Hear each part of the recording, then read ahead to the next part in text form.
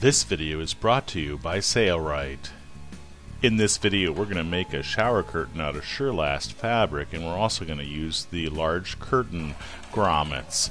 Since our curtain needs to be 75 inches high and the material is only 60 inches, we're going to add a panel to the top portion of the uh, curtain here to extend its height. We're going to use a semi-flat felled seam here. That's the top stitch. And on the bottom side, this is the underside or the inside of the shower curtain. So that is a semi-flat felled seam to join the panel to make extra height. At the head here, where the grommets will be placed, we simply cut a strip of material here and hemmed the edges and then sewed it to the top to create reinforcement for the curtain grommets. The grommet should be placed in at least a 4 inch header and two layers is sufficient for a reinforcement. Then on all three of the other edges we'll just create a double hem to complete those. Uh, these are the curtain grommets, and inside the curtain grommet box there is a template that you can use to trace where each one of these grommets will be placed in your curtain.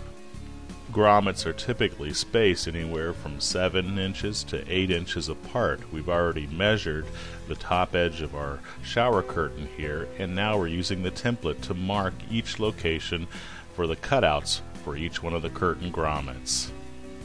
Once all the locations are marked, then it's simply time to cut out the material. We'll use scissors here and just uh, cut a hole in the center and then cut around our traced edge. Do that for each one of the grommet positions.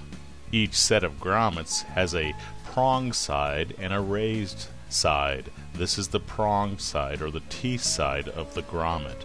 The opposite side is the raised side here. The raised side goes on the right side of the fabric. So position it into the hole that you cut and then position one of the prong grommets over the top and then just simply snap in place. The curtain grommet is now installed. No special tools are required. Here we are doing it again. We place the raised side on the right side of the fabric and the prong side on the wrong side of the fabric. Then press firmly until they snap, and it is installed. This color of curtain grommet that we're using today is called brushed silver. There are many other colors available at the Sailrite website. Be sure to check those out as well. This size grommet will accommodate rods up to 1 and 3 8 inch diameter. Once the holes are cut out of the head of your curtain, installation is super fast. Here we are showing it in fast forward. Now that our shower curtain is complete, let's take it to the shower and install it on the rod. Again, the curtain grommets will accommodate up to rods up to 1 and 3 8 inch in diameter. There it is complete. Looks great.